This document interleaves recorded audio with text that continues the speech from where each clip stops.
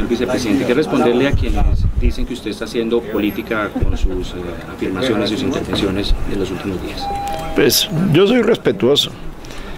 de la libertad de prensa, soy respetuoso del derecho de la gente a opinar, a favor o en contra de los servidores públicos. Lo, lo que me reafirmo es que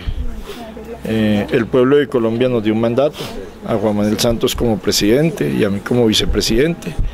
y es eh, trabajar todos los días para hacer bien la obra de gobierno que va del 7 de agosto del 2010 al 7 de agosto del 2014